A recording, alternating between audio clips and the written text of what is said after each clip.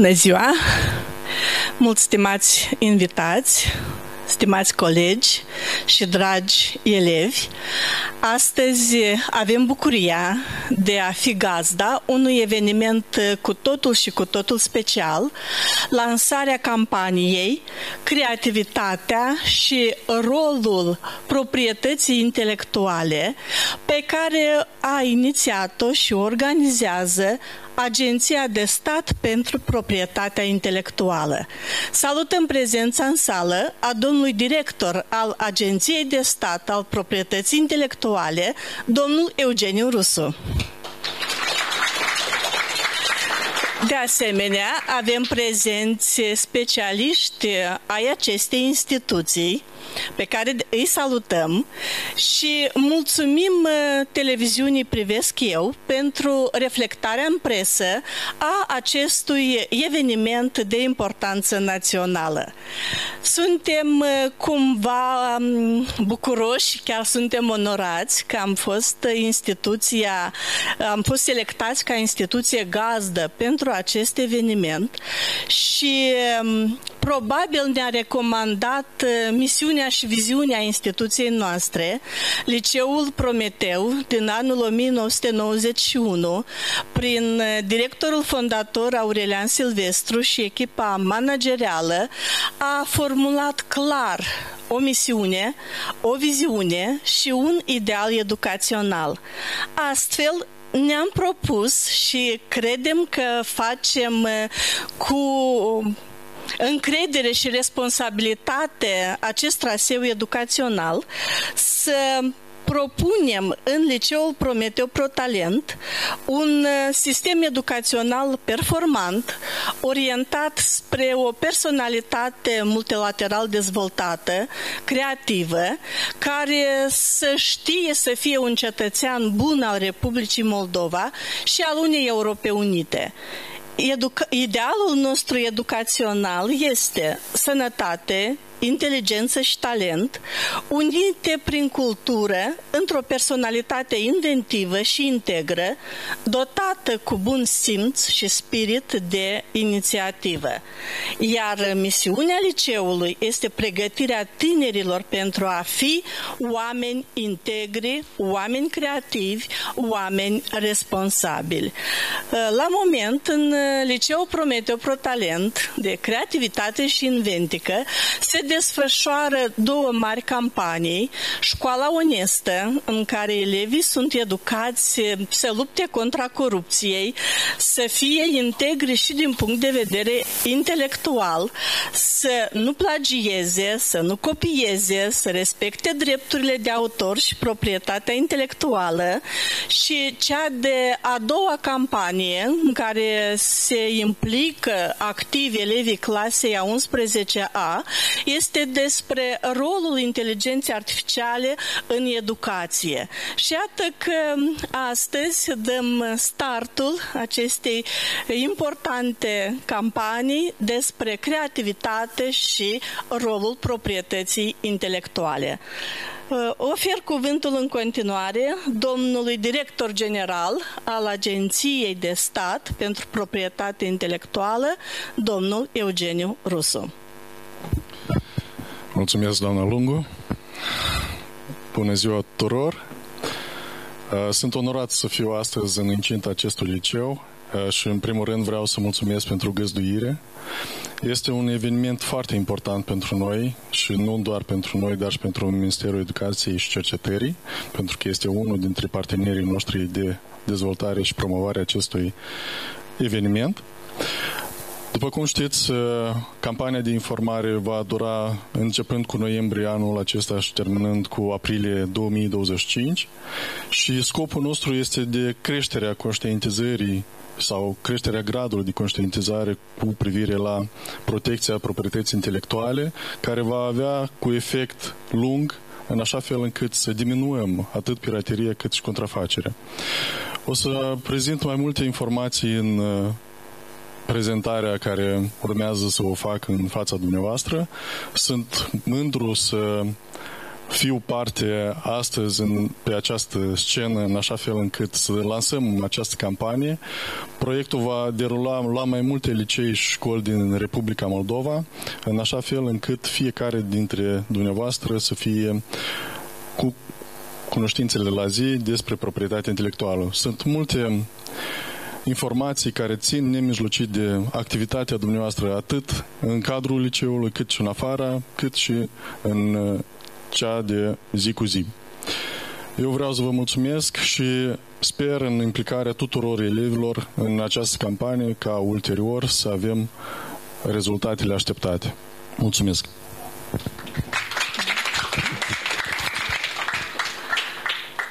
Așa cum marele instituții au ambasadori ce promovează valorile oriunde în lume și Agenția de Stat pentru Proprietate Intelectuală are o ambasadoare, se numește Olesia, Oxana Zaporoniuc și este ambasador al proprietății intelectuale pentru tineri în Republica Moldova, desemnată de către Organizația Mondială a Proprietății Intelectuale pentru un design de ambalaje care a fost câștigător la acest prestigios concurs.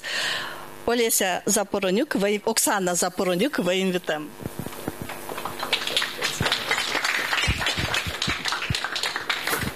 Salutare tuturor! Mă numesc Oxana Zaporoniuc. Sunt designer industrial, sunt ambasador al proprietății intelectuale Uh, să, sunt bucuroasă, fericită să fiu alături de voi, cei uh, talentați, tineri. Cred că fiecare tânăr are uh, în sine curaj de a ceva inova, de a, de a inova. Așa că succese, să aveți succes și spor la muncă.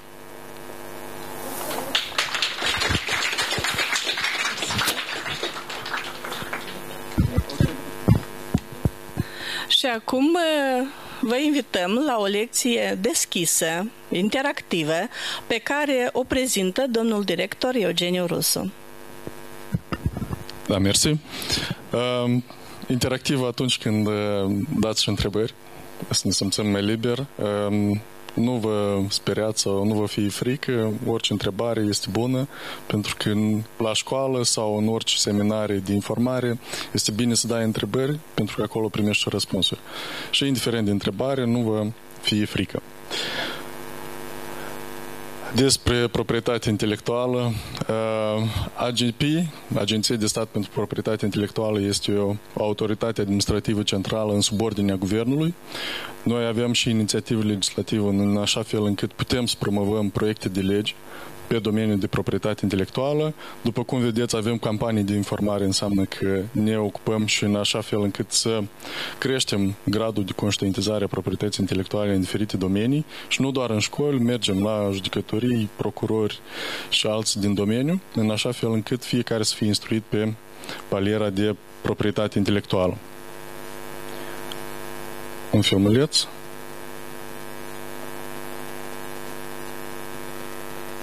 Nu merge, da? A, ok.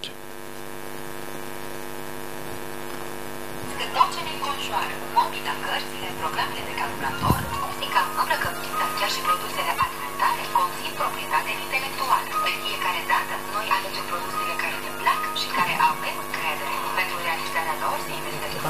bani, timp și creativitate. De aceea, orice producător își înregistrează creațiile la AGP. Aceasta îi oferă siguranță, întărește reputația firmei și fidelizează clienții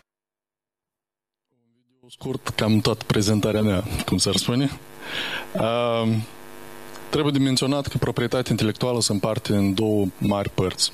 Prima fiind proprietatea industrială, care este compusă de invenții, mărci, desene și modele industriale, denumiri de origine, indicații geografice, specialități tradiționale garantate, soiuri de plante și topografiile. Pe de altă parte este dreptul de autor, în care, și dreptul de autor și drepturile conexe, în care sunt uh, operele literare, operele de artă, operele științifice, cât producători de fonograme sau cele fixate, producători de opere audiovizuale și producători de opere de radiodifuziune. Obiectele protejate prin drept de autor, mare parte dumneavoastră le cunoașteți, dar cu siguranță toți dintre dumneavoastră sunteți autori. De ce? Pentru că de fiecare dată când ați primit temă pentru acasă, de exemplu să faceți o compunere, să scrieți o poezie sau să pictați un tablou, dumneavoastră vă considerați autorul acelei opere până la urmă urmă, pentru că dumneavoastră depuneți creativitate, invenție, cum s-ar spune, în așa fel încât să fie una plăcută și sugestivă, în așa fel încât să prezinte situația care nemijlocit urmează să fie descrisă în, în acea compunere. Regula generală prevede că uh, drepturile patrimoniale sunt protejate de-a lungul a 70 de ani de la momentul creierii, de la momentul decesului ultimului autor, începând cu 1 ianuarie anului premergător. Uh, și spuneam că sunt două mari paliere a proprietății intelectuale. Cea mai mare diferență este momentul de apariție a drepturilor.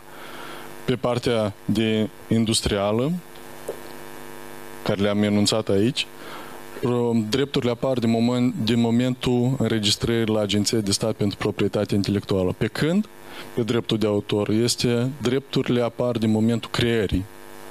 Însăși, protecția este pe, de-a lungul timpul vieții autorului și, cum am menționat, 70 de ani după decesul acestuia. Diferențe, bun, regula generală este clară, dar sunt și câteva excepții de la regula generală pentru operele de artă decorativă și aplicat care se protejează 25 de ani de la creare.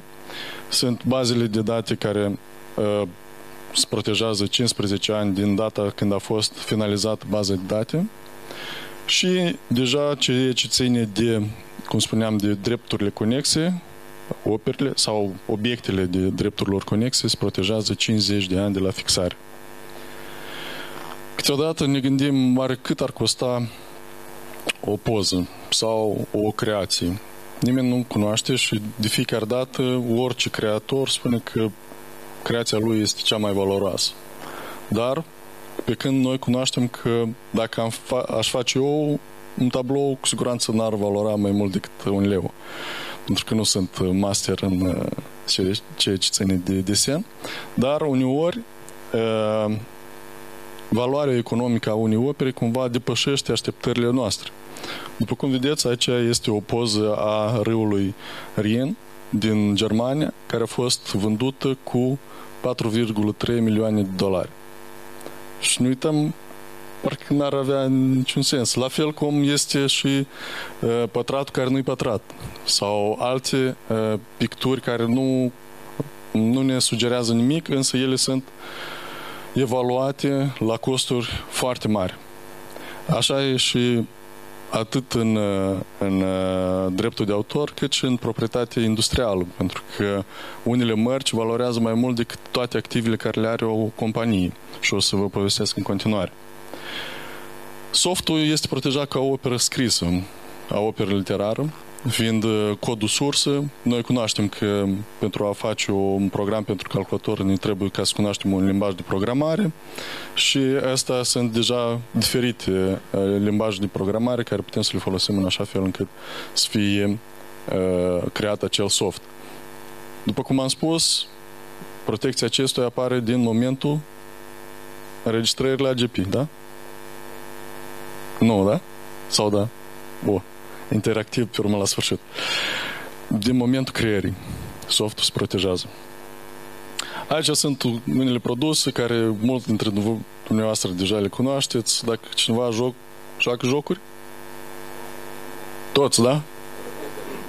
Păi trebuie să cunoașteți că atunci când aveți un joc nemijlocit, îl descărcați de pe diferite platforme de downloadare, cum ar fi Google Play sau Apple Play, nu?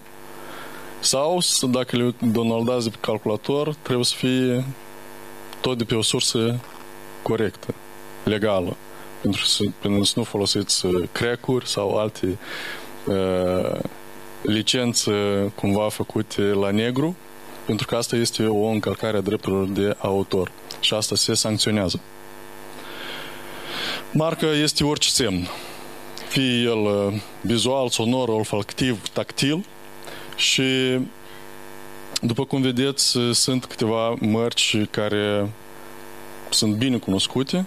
Ele toate sunt protejate atât pe teritoriul Republicii Moldova cât și overall, pentru că marca este unul dintre elementele care face diferența dintre produse sau servicii.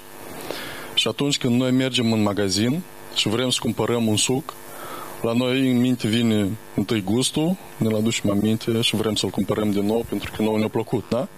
Și îl luăm de pe raft fără ca să mai știm până la sfârșit care este denumirea. Sau nou ne se pare că după ambalaj și după culoare este ăla care nou ne-a plăcut cumva gustul. Și nu mai știm care sunt ingredientele din spate, pentru că noi cunoaștem că nou ne place acel suc, nu? De asta, cumva, marca, designul și alte obiecte de proprietate intelectuală ne creează în subconștient, pe lângă gust, dar și uh, cum trebuie sau cum trebuie să arate un obiect care nu ne-a plăcut și este original.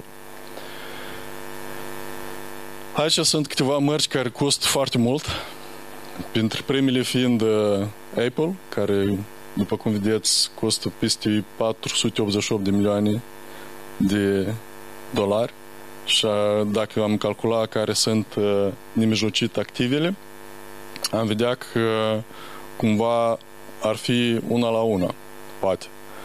Dar uh, aspectul este că doar un simplu semn poate costi 488 de milioane de dolari. Asta vă dați seama, este o avere colosală. Și de asta fiecare uh, agent economic care se cunoaște la nivel de glob încearcă să-și protejeze marca în toate țările pentru a nu fi încălcate drepturile acestora. Alte mărci care sunt uh, nemijlocit protejate și noi le cunoaștem, indubitabil. Desenul și la modelul industrial este un aspect exterior al produsului sau la unii unități a lui, rezultat special în caracteristicile liniilor, conturilor, culorilor, formei, textului și tot așa. Sunt câteva excepții în ceea ce ține de desenul și modele industriale, pentru că, pe de o parte, ele pot fi nemijlocit protejate prin drept de autor, dar fiecare autor trebuie să-și stabilească prin ce mai mult vrea să-și protejeze, fie prin drept de autor, fie, fie prin desene și modele industriale. Diferența este una to- foarte fină în ceea ce ține de uh, timpul de protejare și cum anume poate fi protejat. Ce poate fi înregistrat ca desene sau modele industriale? Noi cunoaștem că uh, dacă are cineva pasiune în ceea ce ține de dressing, de crearea îmbrăcăminte, nu? În fine, în fine, îmbrăcăminte tot este protejat. Noi am văzut diferite cazuri în care uh, companii foarte renumite cumva ies, ies pe uh, podium și defilează unele produse care cumva nouă ne sunt foarte aproape ca folclor. După cum noi cunoaștem IA sau alte uh, îmbrăcăminte tradiționale și noi am avut cazuri. De asta cumva fiecare obiect trebuie să fie protejat în așa fel încât nimeni să nu poată să-l înregistreze sau cel puțin să-l folosească nu după standardele care sunt stabilite. Colecții și modele, noi deja am menționat despre posibilitatea de creare de uh, îmbrăcăminte. Ele se diferă la caz la caz. Diferența poate fi una foarte mică, dar să aducă mai mult valoare. Iar unele companii internaționale cumva depășesc imaginația noastră și cumva ies pe podium cu diferite uh, costumi extravagante care cumva cu siguranță nu, nu putem să le portăm de zi cu zi. Avem uh, câteva certificate uh, înregistrate pe uh, dezine și modele industriale, probabil pe ăsta îl cunoașteți mai mult, nu? Sau da, mă las uitat. N-ați mâncat niciodată la... Da. ok. Este unul dintre modele industriale creat în Republica Moldova și înregistrat, în așa fel încât, după cum vedeți, companiile, chiar și naționale, încearcă să-și protejeze fiecare element de proprietate intelectuală. Și într-o companie mare sunt foarte multe. Pe lângă software, pe lângă îmbrăcăminte, noi avem deja marca care am stabilit că poate fi după asta designul și designul ține de mai multe obiecte. Invenții este un produs sau un procedeu din orice domeniu, dar trebuie să fie nou, noutatea se verifică la nivel mondial și, în ultimul rând, să, fie o, să aibă o activitate inventivă și să fie aplicabilă industrial. Aplicabilă industrial de ce? Pentru că noi avem mulți uh, inventatori care vin la AGP, depun cerere și ulterior cumva doar se limitează la certificat, dar asta este o jumătate din pas care să aduc atât beneficiu, pentru că noi când ne gândim la invenții, ne gândim la ceva nou. Dar atunci când vorbim despre invenții, vine în așa fel încât să ne ușureze nouă viața, munca și multe alte aspecte. De asta, cumva, aplicabilitatea industrială este foarte importantă pentru un brevet de invenție. De ce? Atât pentru autor, pentru că primește bani, cât și pentru societate, în așa fel încât să ușureze munca. Da? Și spune că care este cel mai bun inventator? Nu. La nivel de aptitudini sau... Nu. Spune că cel mai bun inventator este cel lenos pentru că el întotdeauna găsește o soluție foarte ușoară, în așa fel încât să rezolve o problemă mare. Da? Dar, în fine, nu spun că ceilalți inventatori au fost cumva lenoși, dar s-au gândit la anumite probleme din societate, în așa fel încât să găsească soluții pentru rezolvarea acestora.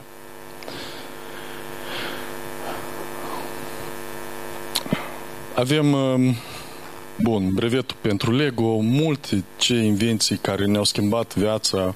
Am, dacă nu cunoaștem invențiile nemijlocit uh, care țin de uh, viața de zi cu zi, noi avem în mână și telefoane, gadgeturi, multe, multe alte aspecte care conțin deja invenții. Dar, cu siguranță, ați privit filme din cel de-al doilea sau primul război mondial, unde se vorbea despre cod Morsa și ulterior cum a, ce efect a avut asupra unei, unui astfel de război. În o întorsătură majoră, în așa fel încât o astfel de invenție a dus la mai multe beneficii de care ne bucurăm și noi astăzi în ceea ce ține de pace. Hedy Lamar este numit ca cea mai frumoasă femeie din lume Asta pe lângă faptul că de invenții, dar tot ea cumva a schițat despre acele invenții ce ține de Bluetooth și Wi-Fi. A fost cea care a pornit acest, această invenție de care noi ne folosim și astăzi în acasă, la școală și în alte loca, localuri și ne ușurează cumva accesul la informații, nu? Autorul este prima persoană prin munca creativă care a fost creat obiectul sau succesul, iar titularul, după cum cunoaștem, da, eu am fost cel care a pictat uh, sau a creat o, o compunere, iar titularul poate fi orice persoană căruia i-am vândut toate drepturile mele patrimoniale asupra acelui obiect. Avem, uh, pe de o parte, cadrul național. Cum spuneam, noi avem inițiativă legislativă de a crea legi în domeniul proprietății intelectuale și avem șapte legi speciale cu referire la fiecare obiect în parte, atât mărci, invenții, drept de autor și altele. Avem 40 de acte normative subordonate legilor speciale, dar totodată suntem parte la Uh, majoritatea tratatelor și convențiilor inter- internaționale care sunt gestionate de către Organizația Mondială pentru Proprietate Intelectuală. Uh, din cele 26, toate, pare să unul lipsește la care nu suntem parte, dar urmează să fie ratificat, ceea ce ține de AGC, uh, de aspectele genetice în uh, domeniul proprietății intelectuale. Și ulterior, tot uh, luna asta urmează să fie negociat și semnat de către Republica Moldova un alt tratat pe desene și modele industriale care va fi negociat uh, și semnat în Arabia Saudită, în Riyadh. Despre piraterie.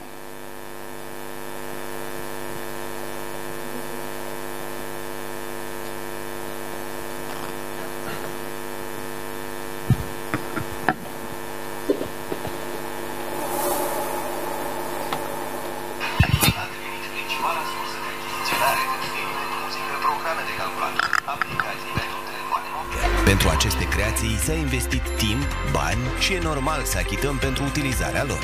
Atunci când o persoană își însușește și comercializează ilegal munca altuia, acest fenomen se numește piraterie. Trebuie să fim conștienți că descărcarea ilegală a informației ne pune în pericol datele personale și cauzează daune majore.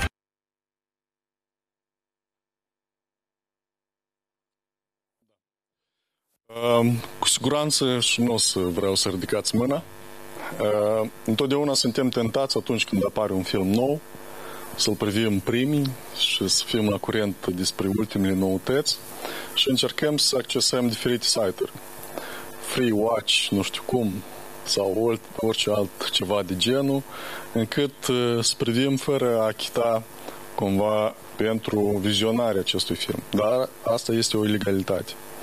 Și asta nu trebuie să continue și cumva trebuie să creștem și să înțelegem că orice operă costă pentru titularul de drepturi timp, uh, sănătate, pentru, pentru ca să creezi ceva trebuie să te dedici, să ai mulți nervi și multe, multe alte aspecte.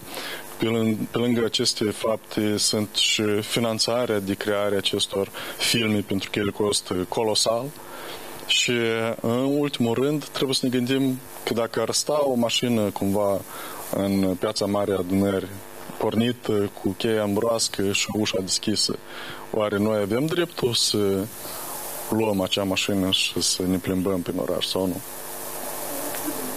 Nu, pentru că nu este proprietatea noastră, nu?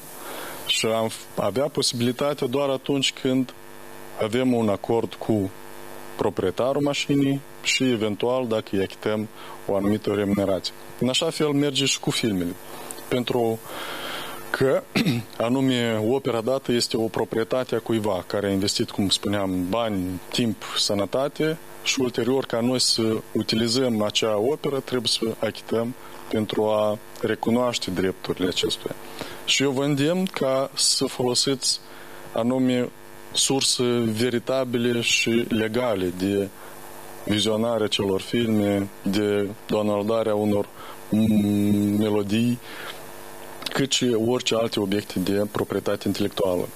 Inclusiv cărți care mai sunt audio, video, indiferent care n-ar fi ele. Drept urmare, eu cred că unica, unicul aspect este de a prelua informația de, de pe surse credibile și legale. Aici sunt doar câteva, dar noi cunoaștem că de curând cumva Netflix-ul a venit pe piață la noi și cum putem să avem acces, avem Spotify și multe, multe alte programe care, în schimb unei remunerații, spun eu, modeste, putem să avem acces la un palier mare de opere care sunt protejate prin dreptul de autor și dreptul conexe prin contrafacere. Apoi, apoi, apoi, aici. Atunci când facem cumpărături, asociem producătorii cu calitatea produselor. Totuși, există riscul ca produsele în care avem încredere să fie contrafăcute. Cele mai afectate sunt îmbrăcăminte, electrocasnicele, produsele farmaceutice, cosmetice și cele de larg consum. Contrafacerea e un fenomen care afectează producătorii și pune în pericol sănătatea și viața consumatorilor. De aceea, ar trebui să fim mai atenți la preț, ambalaj și alte detalii ce ar confirma originalitatea produsului.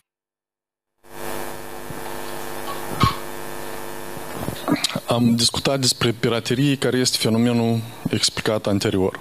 Contrafacere este acest uh, exemplu. De ce el este periculos? dacă ne-am gândit la original atunci când noi punem frână, plăcuțe de frână la mașină. Dacă noi punem originale, sunt după standarde, pot să frânez în metri care sunt uh, nemijlocite indicați în, uh, în condițiile de frânare, dar dacă noi punem unele contrafăcute, eu nu sunt sigur că dacă o să frânăm, sau poate să facem și un accident. Mai ales ceea ce țin de uh, medicamente. Atunci când ele sunt contrafăcute, noi nu cunoaștem dacă nemijlocit se află în componența fiecărui medicament acele produse care ar trebui sau în aceeași măsură proporțional cu fiecare produs în parte sau deloc nu ar fi acel medicament care poate să ne ajute de anumite dureri sau boli care ne confruntăm sau poate să ne fac chiar și rău.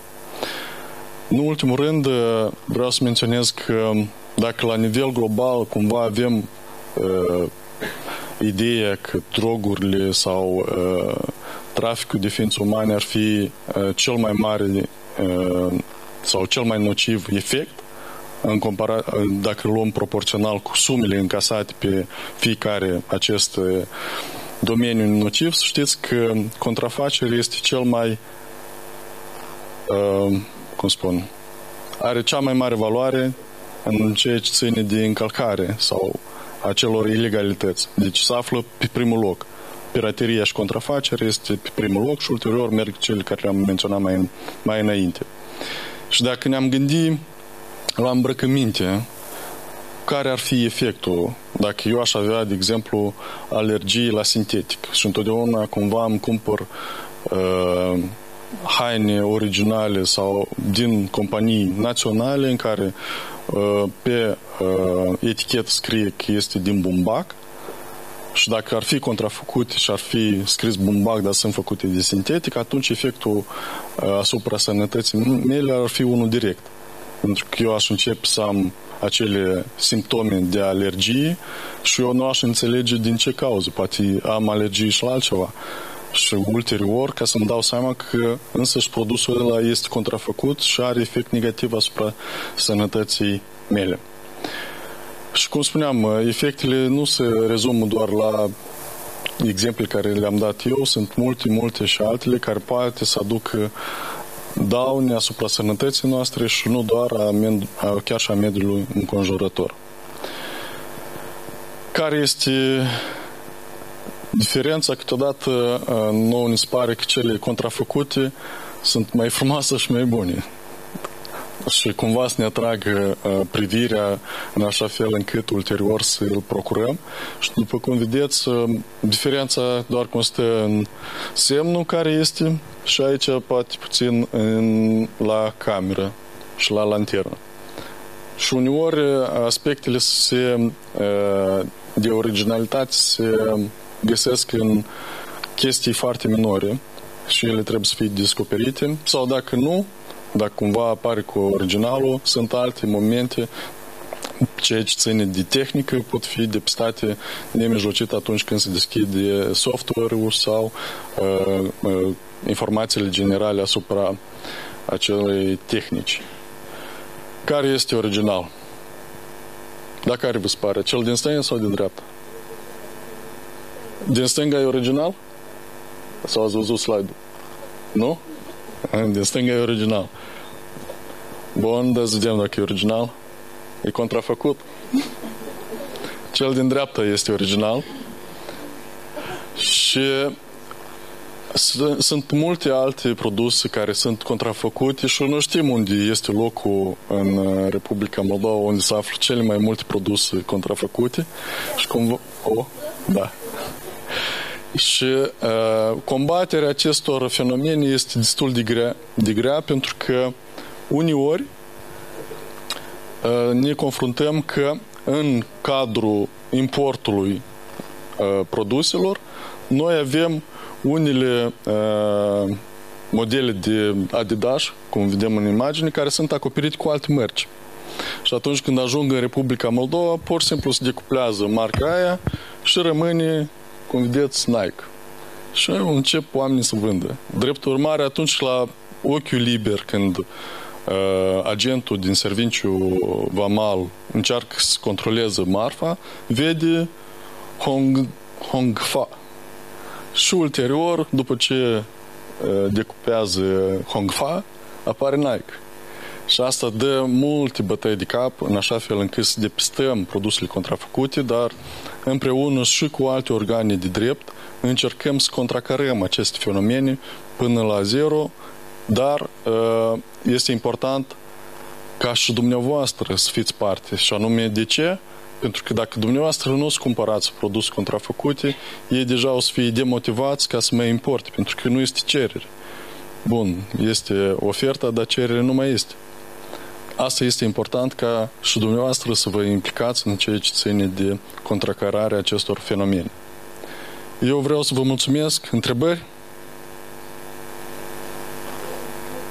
Te rog, da. În ce constă drepturile de autor? De exemplu, dacă avem o, o imagine, vrem să o luăm de pe Google și scrie această imagine este protejată de pe drept, de dreptul de autor. Avem voie să mai folosim în proiecte, de exemplu? Sunt câteva excepții în care dumneavoastră puteți folosiți anumite poze, chiar dacă este protejat prin drept de autor, o condiție ca acest, această utilizare să nu fie cu scop economic, să fie cu scop de educație atunci când dumneavoastră mergeți în fața clasei și vreți prezentați pe o anumită temă și vreți folosiți o, o poză de pe internet. Doi, trebuie să indicați sursa de unde a fost preluată și cine este autorul. Și cumva aceste aspecte vă exonerează de răspunderea încălcării dreptului de autor asupra utilizării acestei poze. Și sunt mai multe alte aspecte. Pot să vă dau un exemplu care probabil îl cunoașteți, pe Cătălin Lungu, când a apărut conflictul cu parodia pe o anumită melodie. În legea dreptului de autor se menționează că utilizarea unei opere cu scop de a parodia exonerează de achitarea unei remunerații sau acceptul titularului de drepturi. Drepturi mari, dacă, bun, instanța de judecată este cea care se expune dacă este corect sau nu este corect, dar asta este o excepție. Alte întrebări? Te rog. După. Bun. Lasă fata și pe un fi gentleman.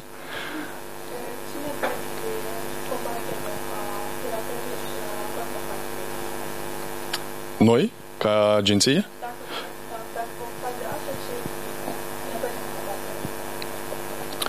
Bun, cum spuneam, metode de combatere doar să informăm, pentru că nu suntem organ de, de drept care să intervină în mijlocit, să mergem în piață și să ridicăm uh, produsele, pentru că cu asta se ocupă poliția, vama deja în aspectul și aici ține de uh, graniță.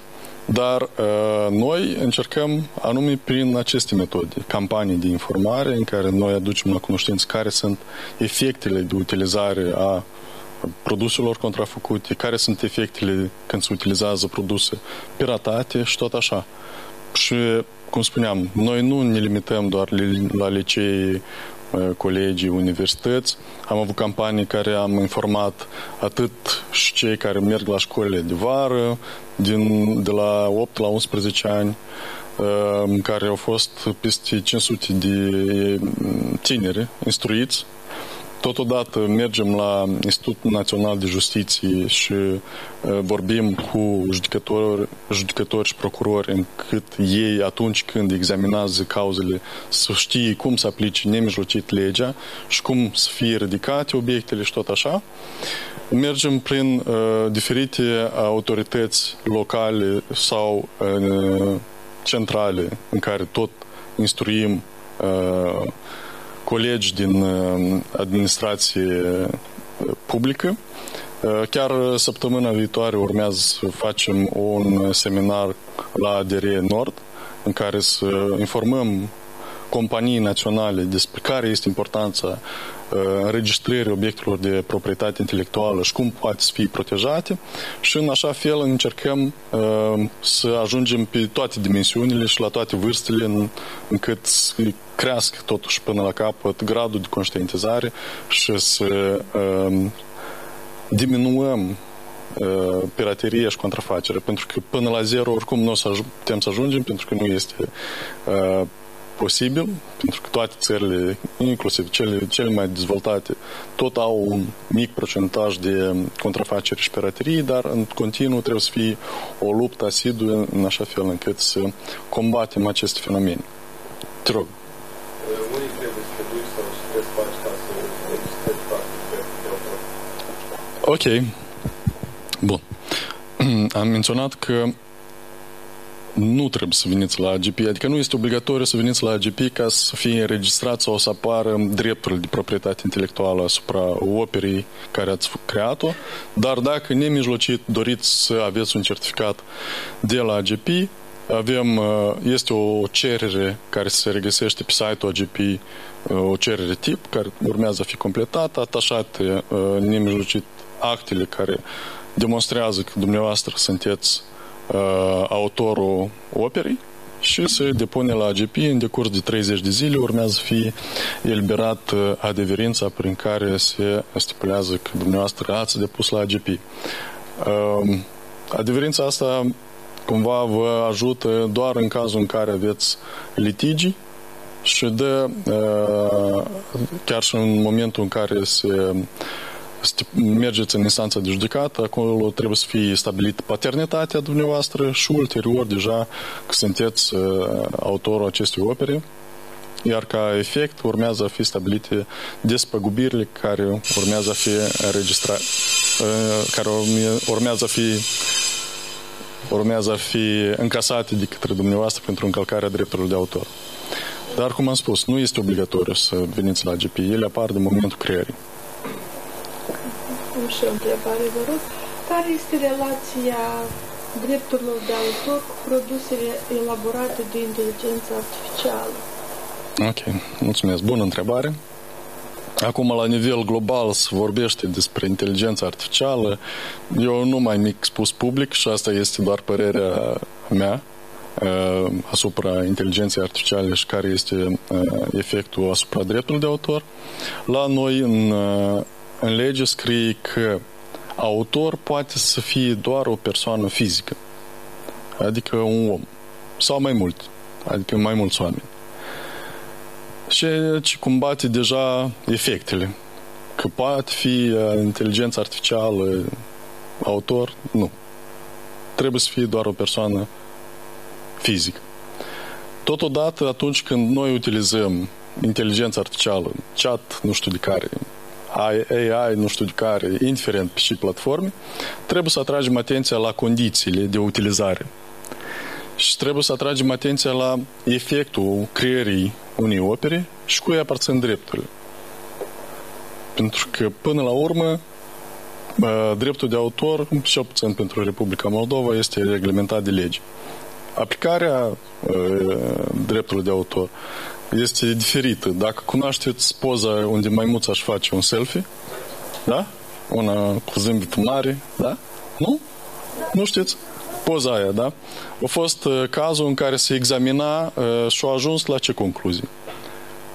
Maimuța are drept de autor să ia și se recompensează și banii au fost transferați la asociația care nemijlocit se ocupă cu protecția maimuților de genul care era în poză.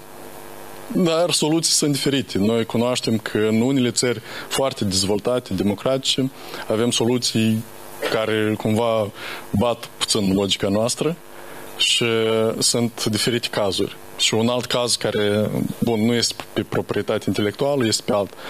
Uh, cineva iese din garaj, știți garajele care cu uși care se închid automat, a ieșit din, uh, cu mașina, unul care vrea să fură din garaj, a intrat repede sub poartă, cel cu mașina a observat că a intrat cineva în garaj și nu a deschis garajul o săptămână.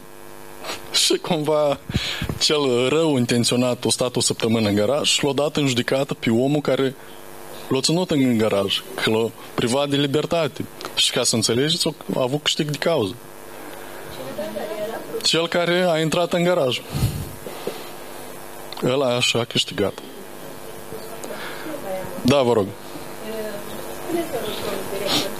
dar aveți exemple în care elevi de liceu sau studenți de Republica Moldova au înregistrat un produs, o marcă, ambasadoarea proprietății intelectuale care a înregistrat. Avem uh, uh, cazuri, acum nu pot să vă spun nemijlocit exemple, dar pot să vă spun un alt aspect, pentru că pentru elevi studenți se aplică uh, o excepție de neachitarea uh, taxelor și se înregistrează pe fără bani sau redus.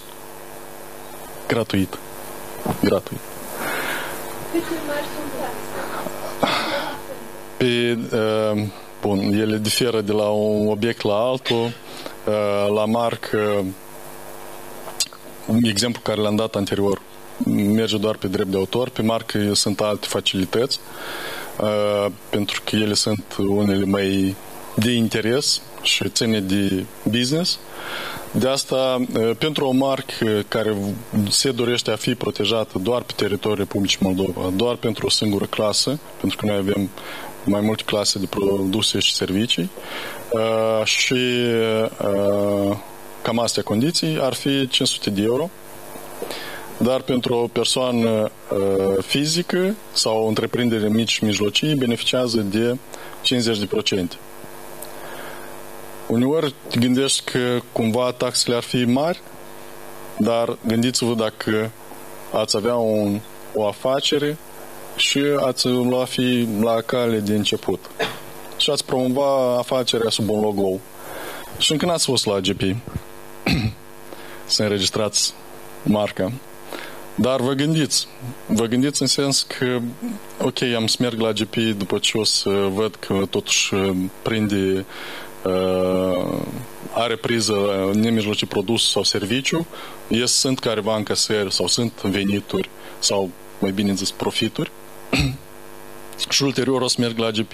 Și vă dați seama, merge un alt coleg de-a dumneavoastră care ar vrea, nu știu, poate s-o gândit sau nu s-o gândit, dar ar spune, a, colegul meu are o afacere, pot să-i preiau marca, mă duc la GP, o înregistrez și ulterior eu am să mă lămuresc cu dânsul. Și sunt cazuri în care se fură marca doar ca să uh, încurci acea afacere și dă bătăi de cap pentru cel care a construit acea afacere. Și are doar câteva posibilități. Unu, să acorde nemijlocit suma care sunt, este solicitată. Doi, să meargă în instanța de judecată și să anuleze marca pe rea credință, dar asta durează.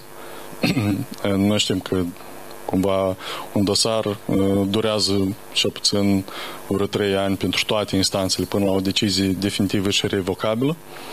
Și trei este să faci rebranding, dar rebranding-ul iar cost. Și de asta ar fi bine ca cel mai bun moment de înregistrare a unui măr sau orice obiect de proprietate intelectuală este atunci când dumneavoastră la aveți. Să mergeți la GP, da, sunt cumva costuri, dar credeți-mă că uh, afaceristul sau businessmanul care are o afacere și are toate obiectele de proprietate intelectuală înregistrate, doarme mult mai bine. Alte întrebări? Dacă nu sunt, sper că v-a fost interesant, de folos și rugămintea mea care a fost anterior de utilizarea unor produse originale să o puneți în aplicare în viața de zi cu zi și, nu în ultimul rând, vă urez succes și vă rog să vă implicați în această campanie. Bye.